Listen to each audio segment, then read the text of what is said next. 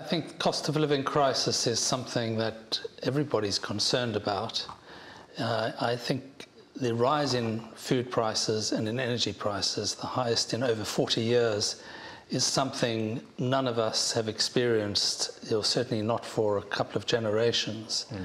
And um, we thought we had a sense of how people were being impacted. You know, there's been a lot of stories about cost of living crisis, but actually, I've got a team of five writers, and I, together with them, have been going out and meeting people on the breadline. And what we've discovered is truly harrowing and searing. Mm. Well, let's talk about some of those stories, some of those case studies, uh, some of those things you've uncovered then.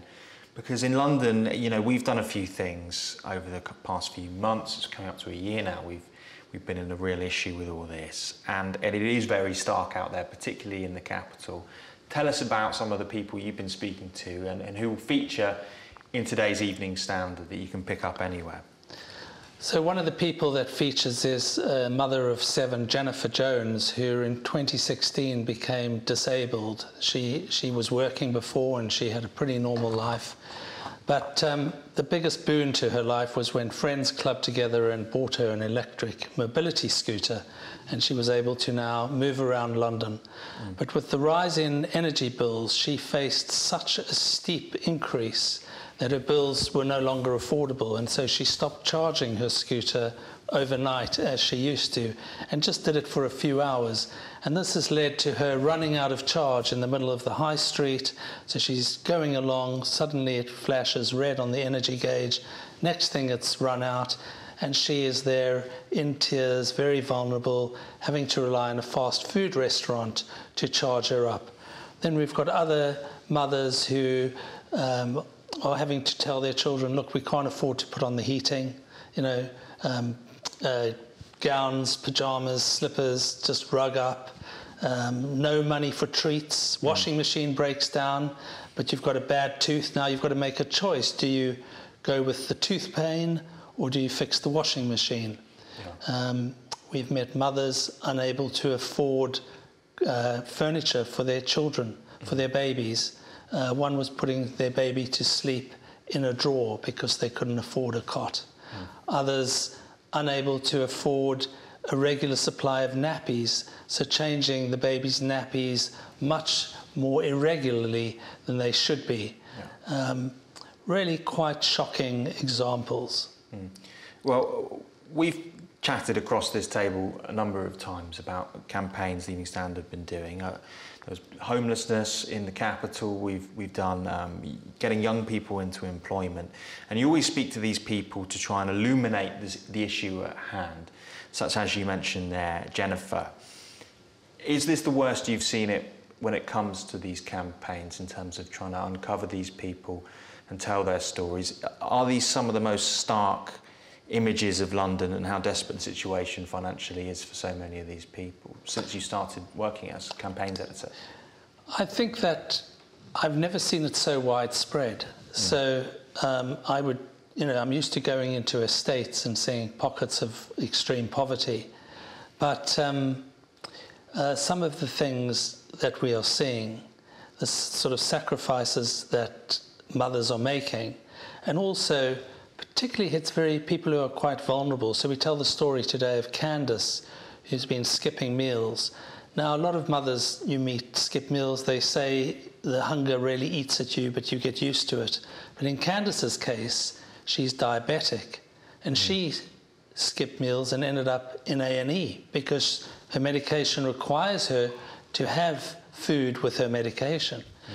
So you, you see these sort of cases of you know the vulnerable the, the poverty sort of insidiously creeping up on them and then overwhelming them suddenly. Um, and you're seeing stories as well of, I think it's impacting the stress that parents are under is affecting the way they engage with their children and then the way the children engage with other children. So there's one story of a child who, who, who's told by her friends, oh, you know, we're not playing with you because you're not rich. Mm. And then she comes home and says to her mum, Mum, can you make those tuna sandwiches that you used to give me for lunch and maybe we can sell them so we can become rich? Yeah. And that, these kind of things really impact the parents. So the parents sort of taking the hits, but when the ch- when they see the children taking the hits, I think that becomes much harder to bear. Yeah. Well, it's a tough time to get anyone to donate to anything at the moment because, as you say, the issue is so widespread. We're all a bit strapped for cash, so getting people to give money to a cause is a struggling thing, uh, perhaps more than we've ever seen in, in recent years. But also, as you said, because it is so widespread, it's something that touches people more personally, perhaps than any other usual campaign. Often, when you pick up a stand and you might see something about homelessness, you go, well, that doesn't affect me, but it's still, you know, it tears my heart apart. This is something that will really appeal to everyone because everyone knows someone that's going through something particularly bad or themselves are. Yeah, I think we're asking people, we've called it on the breadline. It's our cost of living Christmas appeal. We're doing it in partnership with The Independent and with Comic Relief. So, Comic Relief have today pledged a million pounds to get us going. And uh, we're looking for viewers to really pay it forward, if you like, mm. and give generously.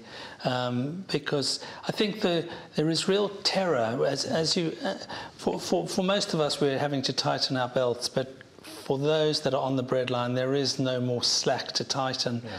And they're looking at this winter to come with a real sense of, of fear and terror as to how they're going to afford these bills, what they're going to cut, what are they not going to have.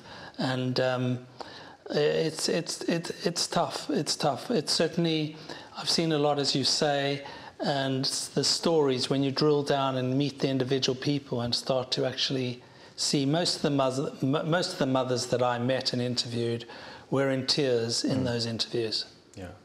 Uh, well, it is good to have such a big organisation like Comic Relief involved, I, I assume. And there's a few things uh, that the money can buy. £10 could help a family of three for a week. That's quite something for uh, London prices. You know, 20, could, 20 quid could buy a winter kit containing a blanket, hat, scarf and gloves. You know, these are all very important things, very basic things, depressingly, that people need right now, isn't it?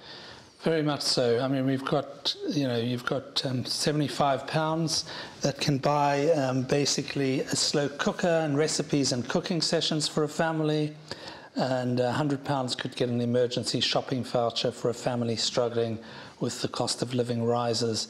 Um, we, um, I think that what we're going to be doing is we're going to be giving to organisations uh, in the, working in the community that help and support the most disadvantaged families, both in London and across the UK. And it's these brilliant organisations that people increasingly are turning to and, and relying on.